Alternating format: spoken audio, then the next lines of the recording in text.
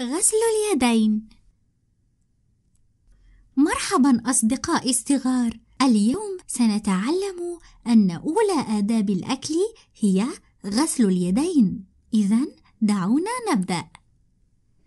إن تناول الطعام شأن يومي متكرر وهو أمر هام جدا في حياة الإنسان. فالطعام هو الوقود الذي يعطينا الطاقة وبناء الجسم. والوقاية من الأمراض لذلك فمن الضروري اتباع منهج الله وسنة رسوله حتى ننعم بمتعة الطعام ونتفادى الضرر الناتج عن الإخلال بآدابه.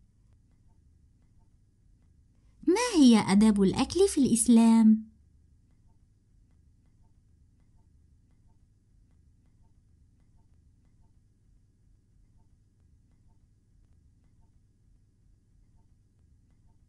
أحسنتم يا أصدقائي، عمل رائع.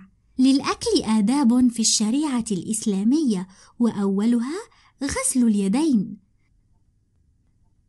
غسل اليدين قبل البدء بالطعام. يجب على المرء غسل يديه بالماء والصابون قبل البدء بالطعام أو الشراب لأن اليد المتسخة تحمل آلاف الميكروبات التي تنتظر الفرصة للهجوم على جسم الإنسان بمجرد أن تجد منفذا إليه. وتعتبر الأيدي الملوثة السبب الأول لأغلب الأمراض الخطيرة. غسل اليدين بعد الطعام لإزالة بقايا الطعام.